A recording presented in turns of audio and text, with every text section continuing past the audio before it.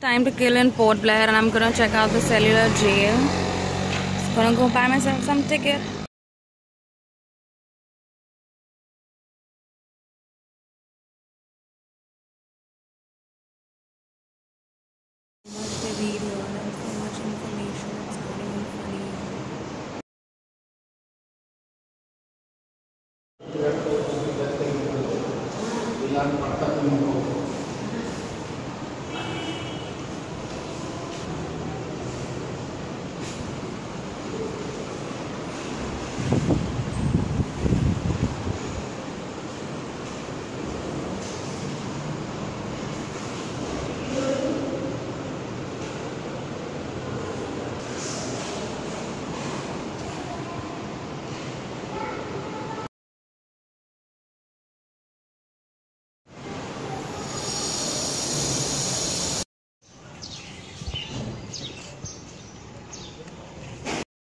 Now entering and checking out the cellular jail.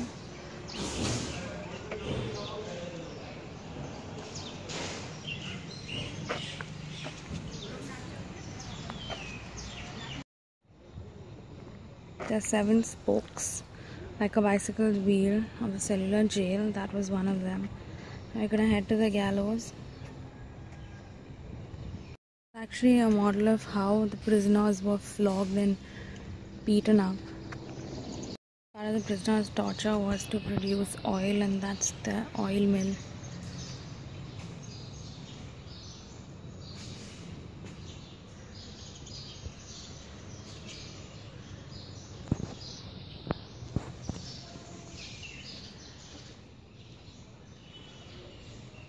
Producing the oil was absolutely strenuous.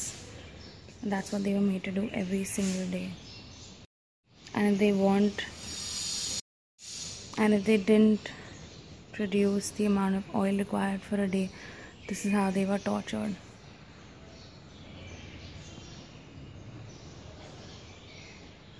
This is the way the prisoners were kept in fetters. Absolutely disgusting.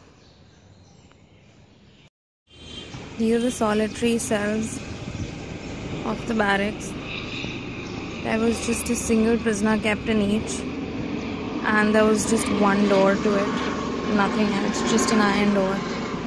Shall look into that. But for now, let's head to the gallows.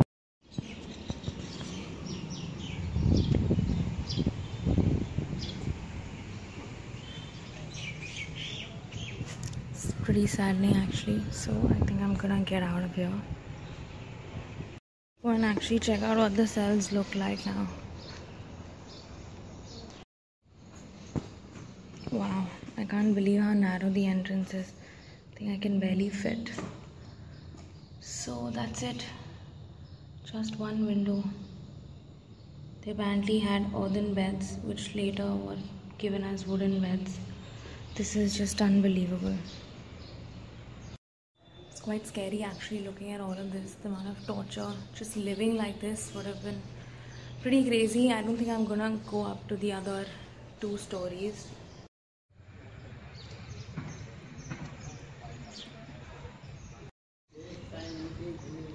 There were a total of 663 cells in the whole of the cellular jail and this is a bigger part of it.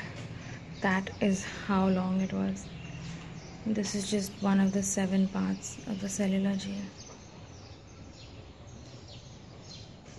That's actually the bolt that used to go in right from there and go through the door.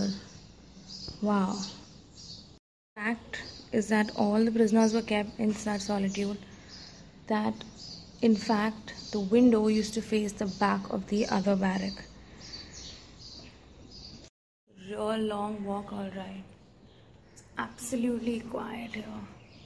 Can't imagine what it must have been like then. The tube light in this cell, I'm sure that wasn't how it was back then. Let's just take a walk up, only to see what it's like.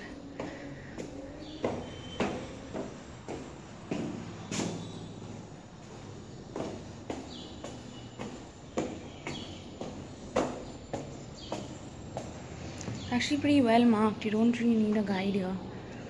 But we will not go to the third floor. Let's see what the second floor has for us. These are all the political internees incarcerated in the cellular jail. There are actually a lot of them. Well, you can see civilization around here now. I'm sure there wasn't any civilization back then.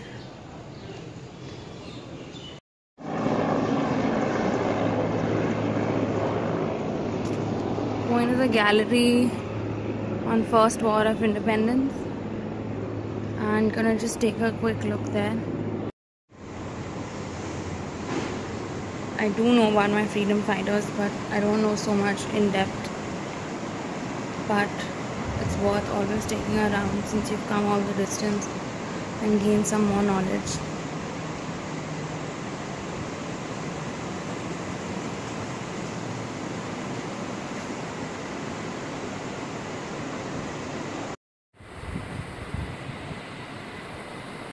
Fact is a very beautiful depiction of our freedom fighters and how they ended up coming to the cellular jail and what their life at the cellular jail was.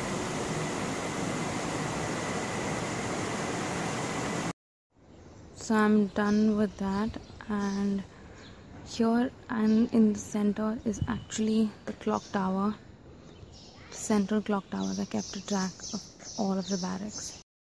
Here's the gallery of Andaman in older days.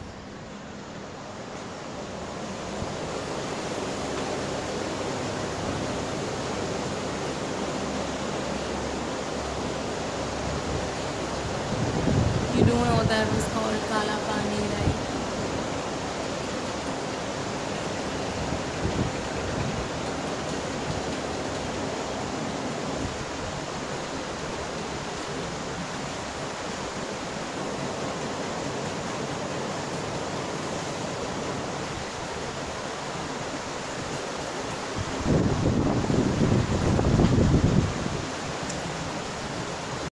Much done but going to find my spot now to take a selfie which you all shall see.